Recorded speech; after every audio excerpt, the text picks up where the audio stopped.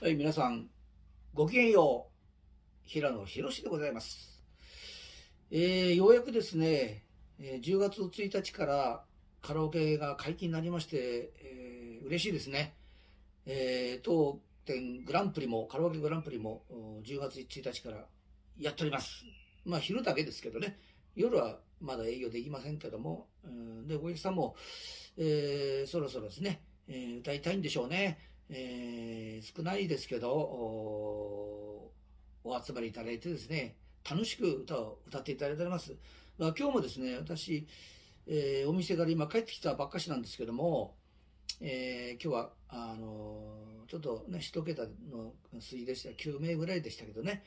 まあ、横浜方面からいらしたりですね、えー、まあ、楽しくですね、皆さんの歌を聴かせていただきました。まあ、皆さんね、えほとんど歌ってなかったっていう方ばっかしだったんですけども、歌を聴く限りでは、ブランクはあまり感じないですね。やはり上手な人は上手いですね。あのご本人はね、歌い込んでないから不安でしょうけども、まあ、我々聞く限りでは、いや、歌うまい人は、ちょっとぐらいブランク、まあ、半年ぐらいあってもね、えー、ちょっと歌い出すと、元のもあの実力に戻ってくるのかなっていうような感覚でですね、今日は聞いて、一生懸命聞いてました。はい。また引き続き、グランプリの方もごひいきよろしくお願いします。はい。えー、今日はですね、あのー、ちょっとご案内なんですけども、今、グレンの花のね、イベントを2つやっております。まあ、ご存知の方いらっしゃると思うんですけども、1つはですね、えー、ナック、日本アマチュア歌謡連盟主催の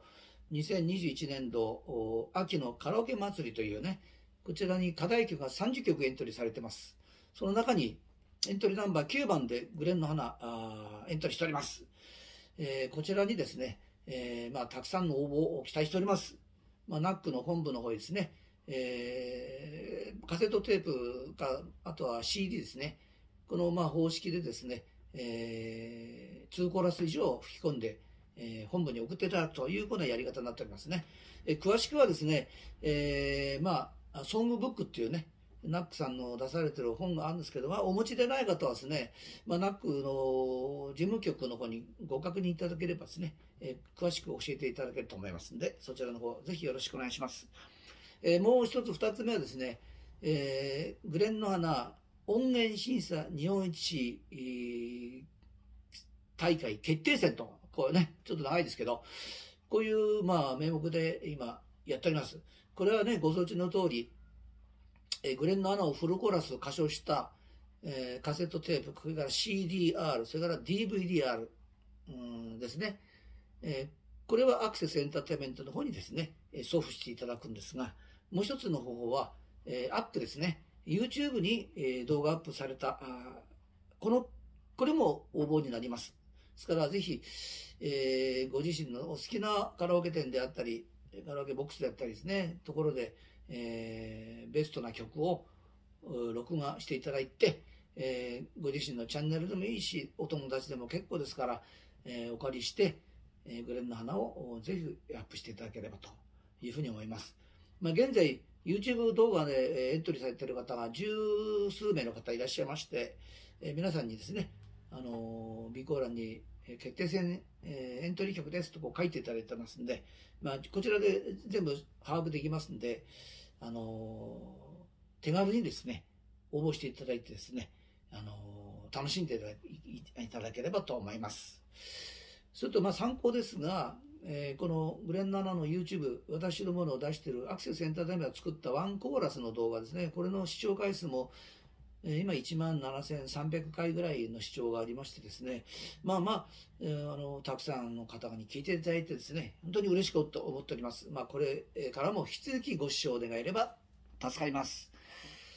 えー、よろしくお願いいたします。